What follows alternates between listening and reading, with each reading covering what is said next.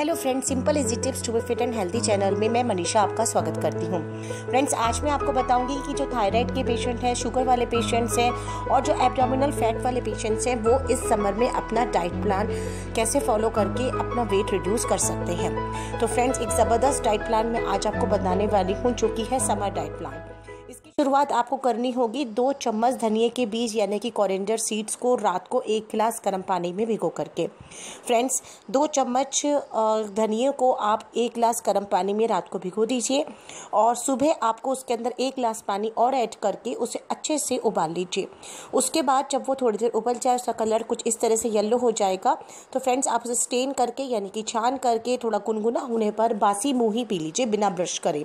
Friends इससे thyroid कुछ दिनों में नॉर्मल नॉर्मल भी हो जाएगा और साथ में वाटर रिटेंशन यानी कि जो स्वेलिंग आ जाती है बॉडी में, उसकी प्रॉब्लम भी कम हो जाएगी। साथ ही साथ समर में ये कॉरेंजर जो वाटर है, आपको ठंडक भी प्रदान करेगा। फ्रेंड्स पाँच तरह के आपको ड्राई फ्रूट्स लेने होंगे। आप इसके साथ चाहें तो एक कप चाय भी पी सकते हैं। इसमें आप स्टैच्यू आलमंड्स वॉलनट्स और रेजिन्स यानी कि किशमिश कुछ भी आप यूज़ कर सकते हैं। इसे भिगो करके भी ले सकते हैं। आप चाहें तो डायरेक्ट भी यूज़ कर सकते हैं।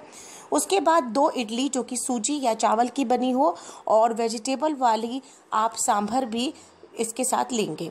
फ्रेंड्स, एक या दो बाउल आप सांभर के ले लीजिए और दो इडली। ये आपका यमी सा, टेस्टी सा ब्रेकफास्ट हो जाएगा। इसके बाद फ्रेंड्स मिड डे मील में आपको लेना होगा एक बड़ा सा बाउल, एक बड़ी सी प्लेट फ्रूट चाट की, जिसके अंदर आप कीवी स्ट्रॉबेरी और एप्पल को ज़रूर इंक्लूड कीजिए, जो कि सभी वेट लॉस को तेज़ी से बढ़ाते हैं। अगर पपाया आपको सूट करता है तो पपाया ज़रूर लीजिए। आप चाहें तो इसमें हाफ़ बनाना भी यूज़ कर सकते हैं। इस तरह से कुछ मिक्स सा फ्रूट सैलेड टाइप का आप बना लीजिए और आप उसको खाइए। इसके बाद फ्रेंड्स, दोपहर को आपको दो रोटी और कोई सी भी दाल जो आपकी फेवरेट हो, उड़द की दाल ना हो, बस सैलेड के साथ आप लीजिए। फ्रेंड्स, ये बहुत सिंपल डाइट प्लान है। आप चाहे जॉब कर रहे हो या घर पे रह रहे हो, आप इसे इजीली फॉलो कर सकते हैं। कुछ भी आपको बाहर से लाने की ज़रूरत नहीं पड़ेगी। फ्रेंड्स, एक पिंच काली मिर्च मिला करके फिर आपको एक कप ग्रीन टी का लेना होगा after ten minutes of lunch. इससे मेटाबॉलिक रेट बहुत तेज़ हो जाएगा और फैट बर्न बहुत जल्दी होगा। फ्रेंड्स साढ़े पाँच बजे के करीब आपको एक करेले का जूस पीना होगा जो थायराइड और शुगर दोनों के पेशेंट्स के लिए बहुत अच्छा माना जाता है। फैट बर्निंग प्रोसेस को भी ये बहुत तेज़ कर देता है। और फ्रेंड्स साथ ही साथ कुछ कड़वा रस भी हमारी बॉडी को मिल जाता है और आयरन की डिफिशेंसी भी नहीं होती। रात को खाने में आपको सब सब्जियों वाली मूंग की छिलके दाल की खिचड़ी लेनी है फ्रेंड जो कि आप आ, सिर्फ़ सरसों के तेल या घर के देसी घी में ही बनाएँगे, उसमें तड़का लगाएँगे इन्हीं चीज़ों का।